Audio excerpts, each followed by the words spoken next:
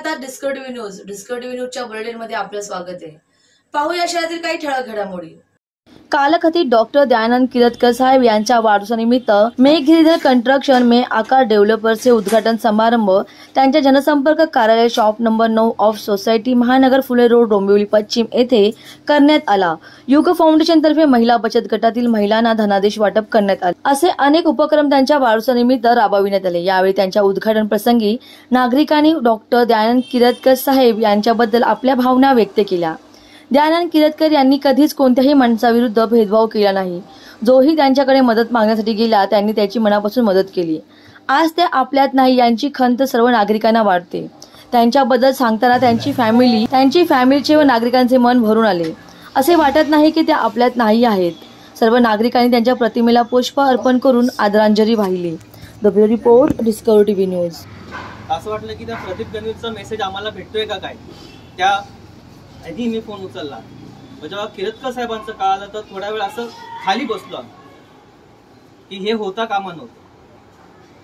परिवाराचा तर खूप महत्त्वाचा व्यक्ती होताच पण तो समाजाचाही खूप महत्त्वाचा व्यक्ती होता.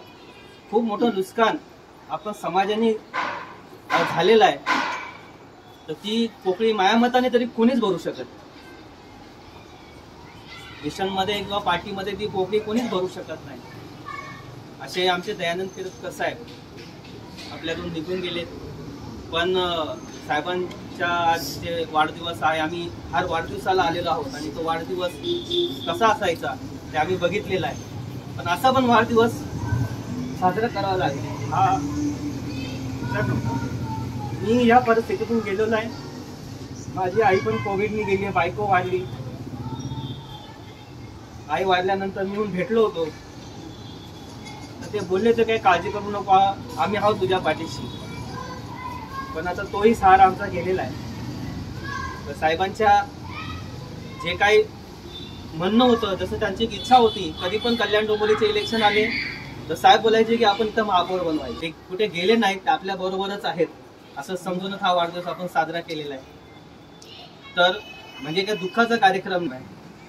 तर त्यांच्या आज प्रतिमासमोर मी त्यांना आश्वस्त करतो की त्यांना एक त्यांची जी इच्छा आहे कल्याण डोंबिवली महापौरची ती आमच्यासारखे सर्व कार्यकर्ते कामाला लागू आणि बहुजन समाज पार्टीचा महापौर बनू आणि खरी श्रद्धांजली आम्ही त्यांना देऊ. हे जो सांगून मी तर थांबतो. जय भीम जय मी रिटायरमेंट घेतली. दहा वर्ष अगोदरच घेतली. तर मला त्यांनी म्हटलं मला असं समाजकार्य करायचं आहे महिलांसाठी. तर त्यासाठी त्याने मला ऑफिस उघडून दिलं. स्वतःचं ऑफिस छोटं आहे पण माझं ऑफिस त्यांनी किती मोठं बनवून दिलं मला.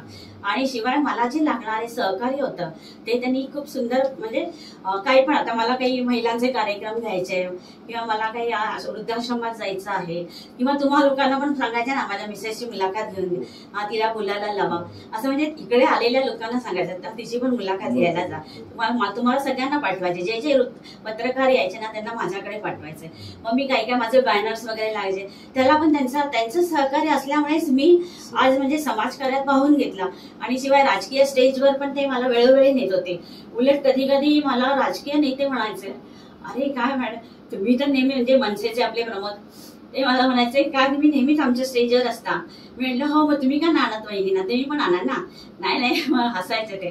नाही म्हणजे तुम्ही साहेबांबरोबर नेहमीच असता. म्हणजे मोस्टली राजकीय नेते आपल्या पत्नीला सोबत नेत नाही पण मी राज नेहमी स्टेजवर त्यांच्यासोबत असायचा. कुठलाही राजकीय कार्यक्रम असू दे.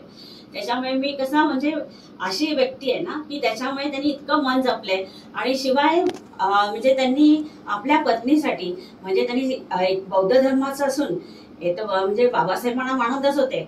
बाबासाहेब पण त्यांनी माझ्यासाठी शाकाहारी पूर्ण झाले. कारण मी मानभाव बनते मी पण म्हणजे बौद्धिस्टच आहे पण मी मानभाव धर्म घेतल्यामुळे पूर्ण शाकाहारी आहे. शिवाय मी भगवद्गीतेला जास्त मानते. आणि मग परमेश्वरी अवतार मानते. पण माझ्यासोबत त्यांनी त्यांच्या म्हणजे आमच्या मानभाव पंथामध्ये आमचे एक एक साधू महंत रडले त्यांच्यासाठी. इतके रडले की त्यांनी म्हणजे त्यांना असं वाटलं की आमचा आम्हाला आज मोठा मोरल सपोर्ट होता. आणि काही पण झालं त्यांचे मला अजूनही फोन येतात. आणि ते सांगतात त्यांची हसरी मूर्ती कायम आमच्या डोळ्यासमोर येते. आज आम्हाला काही झालं तर आम्ही म्हणत किरतकर साहेब आले. किरतकर आमचं हे काम करतील. म्हणजे एवढा लोकांना आधार होता. आमच्या मोठमोठे महंत आहे. आज तर ते सगळं संसाराचा त्याग करून ते गेले. पण त्यांना देखील ह्यांच्या जाण्याने आनंद व्हायचा. त्यांच्या म्हणजे हे तिथे गेले पाऊल ठेवलं त्यांच्याशी दोन गोष्टी बोलल्या. की ते म्हणायचे असं आपल्या धर्माला आधार पाहिजे. म्हणजे इथे ते राजकारण सांभाळायचे समाजकारण सांभाळायचे. शिवाय ते धार्मिक कार्यामध्ये पण ते पुढे होते. म्हणजे कुठल्या कार्यात पुढे नाही असं नाही.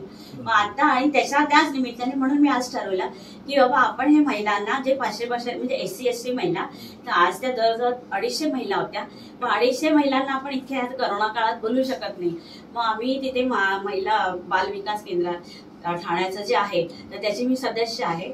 मग त्यांनी मी एस सी एस टी जवळजवळ दोनशे महिलांची नावं दिलेली.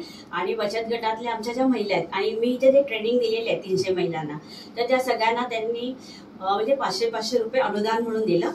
आणि बाकीच्या जे एस सी एस टी महिला आहेत त्यांना देखील दिलेले. आणि बाकीच्या एस सी एस टी महिलांना ते आर टी जी एस करतील. या होत्या डिस्कवरी न्यूज तुम्हाला आमच्या संपर्क साधायचा असल्यास स्क्रीनवर दिलेल्या क्रमांकाशी संपर्क साधू शकता. Nine three double eight four two zero four two zero वेळ झाली निरोप घेण्याची उद्या पुन्हा भेटूया. याच वेळेस तोपर्यंत धन्यवाद.